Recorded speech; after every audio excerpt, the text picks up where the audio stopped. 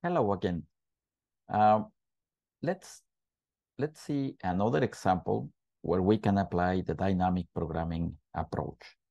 And this is kind of a well-known problem too.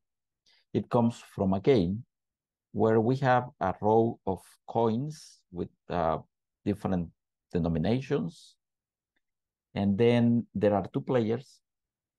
Each player has the possibility in its turn to take one of the coins from the row. The coins can be taken from either side of the of the row. Um, and then the idea is that uh, the player that ends up with the biggest amount of money is the one that wins. This is sort of a variation of the game. We still consider the, the row of n coins we are going to represent the values of those coins by C1, C2, and so on. Uh, of course, they are not necessarily distinct. And the goal is to pick up the maximum amount of money, but we are going to consider the following constraint. No two coins adjacent in the initial row can be picked up. And if we do something like this, then we can basically consider the following algorithm in order to solve the problem. In order to do that, what we are going to do is to make some definitions of uh, things. So the first one is going to be uh, Fn. Fn will represent the maximum amount of money that can be picked up from the row of n coins, n coins, okay? And then, um, considering the game, let me draw a little bit here. If we have uh, the row of coins, C2, C3, C4, in the game, there are two players. Let's say, I don't know, um, Alice and Robert. Okay. So if Alice is the first one to play, she may pick either C1 or C4. Uh, but once she does that, let's suppose that she takes C1, then Robert can choose between C2 and C4. So he can uh, maybe take this one, and they are they are going to be interacting that way. In our case, we will also have the same idea of the of the coins, but we don't have the players. It's only one. But what is going to happen is that um, if, for instance, I take this coin from from the row, then I cannot take C3 anymore because they are adjacent. So by considering this, we will um, define the following. We will partition the coins in two groups, right? One of the groups is going to include the last coin and the other will not include the last coin, the other group, right? So if we do that, then the largest amount of money that we can get from the first group is going to be equal to Cn plus the largest amount of money I can make from the rest of the coins without the coin that is adjacent to Cn. So if I had, let's say, something like this, C1, C2, C3, and C5, four, yeah, five. Um, in the first group, basically means that I will take c5 with me, but then I cannot take c4 because it is adjacent to the one that I took. So the most I could get now is going to be the value of c5 that is already taken, plus the maximum from what is left, which is f n minus 2, because this is n, this is n minus 1, and this is going to be n minus 2. Okay? Which is exactly what is here. And the maximum amount of money I can get if I am on considering the second group, remember that the second group does not contain Cn. So in the second case, I will get, if this were the case, something like C1, C2, C3, C4, but C5 is not with me. I will not consider that because the other player took it. That is the, the idea, okay? So the most I can get is f of 4. That is f of n minus 1, right? So this is actually what is here. So, in other words, um, and let me clean the screen so that um, it is easy. Anyways, you have the, oh, you have this in the video. So um, basically what we are saying is that um, now I could define, of course, oh, I'm sorry. I, I also need to have initial, initial conditions or base uh, conditions. F of zero is going to be zero. If there are no coins, I cannot uh, get anything. And if there is only one coin, the most I can get is the, the, the value of that coin, okay?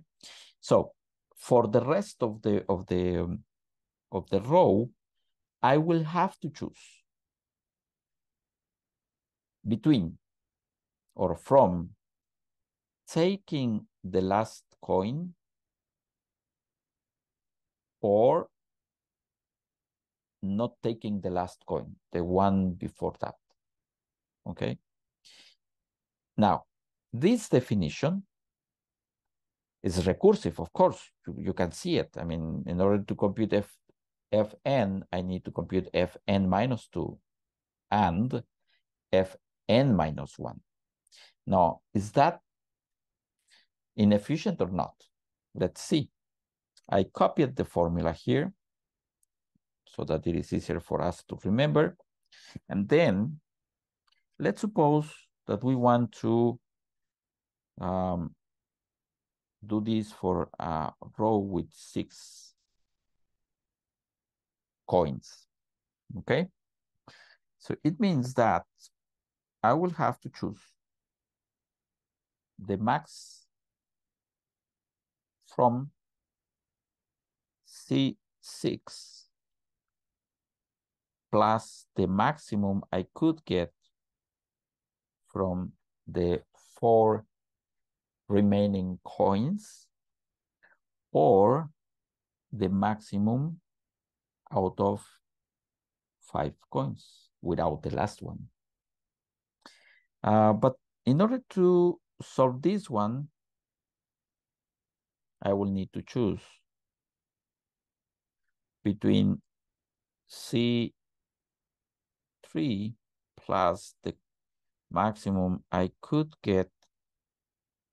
Oh, I'm sorry, I made a mistake here. This is C uh, 4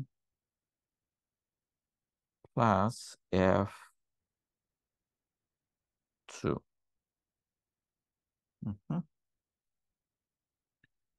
or F3.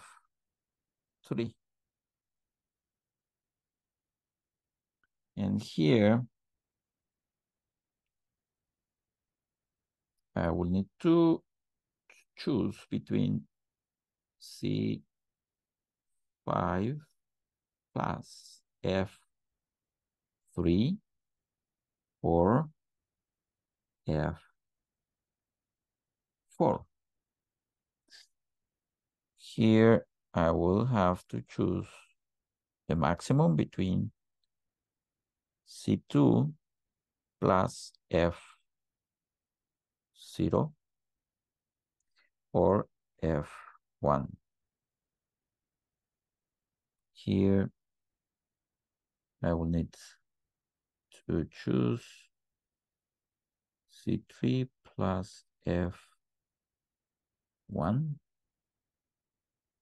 or F2. Here is going to be C4 plus F0.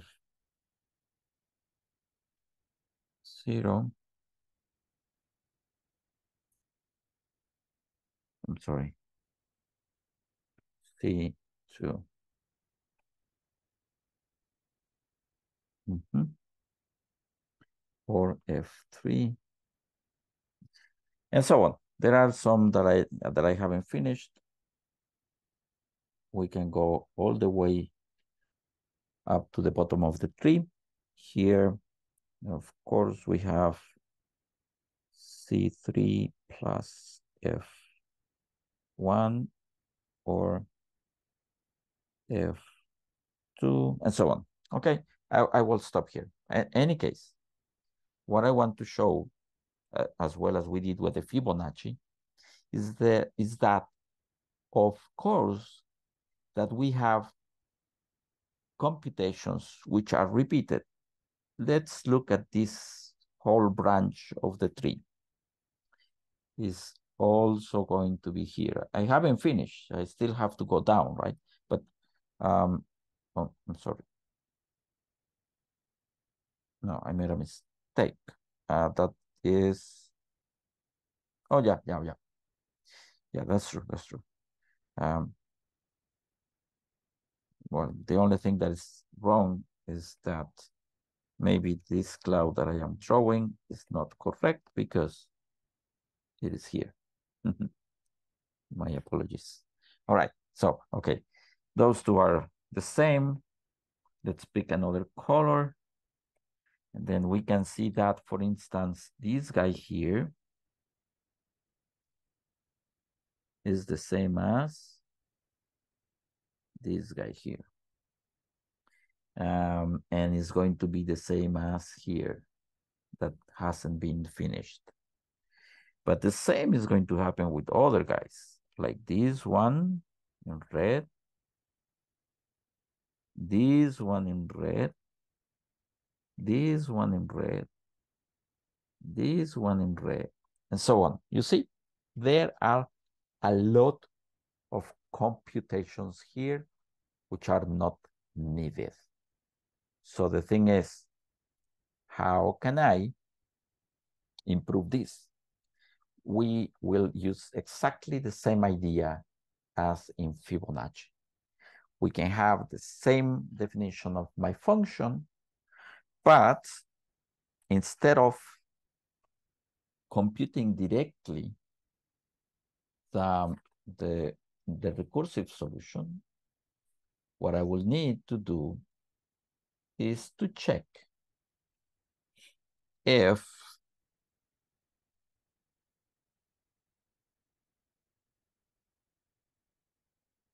uh, if I have f n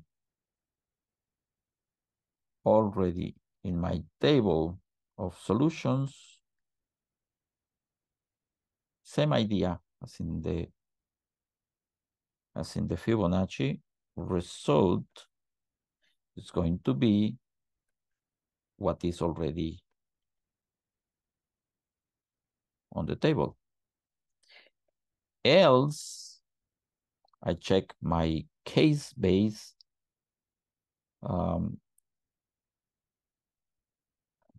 if let me move this. Come on. Oh anyways. Okay anyways. Okay. Um else if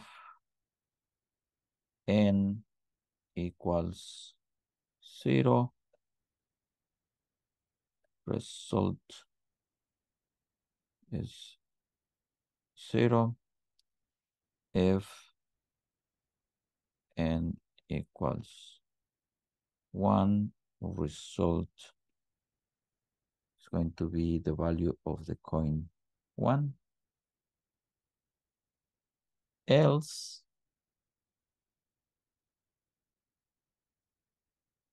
um, result is going to be the maximum between Cn plus f n minus 2 or f n minus 1. And then I will have uh, solutions n equal to result so that I can perform the store step. Computer solve step here, store step here, and then return result. Okay, so this is sort of a pseudo code. Of course, there are a lot of things missing, including the definition of the array with the values of the coins and the other one. But um, the idea is that uh, we perform basically the same thing as in the Fibonacci um, problem. So now we are ready to program it. Let's do it. Shall we?